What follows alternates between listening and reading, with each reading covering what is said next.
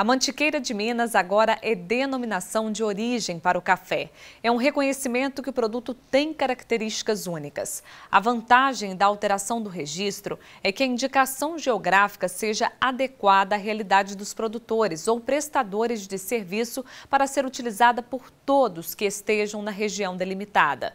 São 25 municípios mineiros que vão carregar o novo selo. Entre as regras, o comprador do café da Mantiqueira de Minas vai saber que o produto foi produzido a no mínimo 1.040 metros de altitude e que apresentam outras características especiais.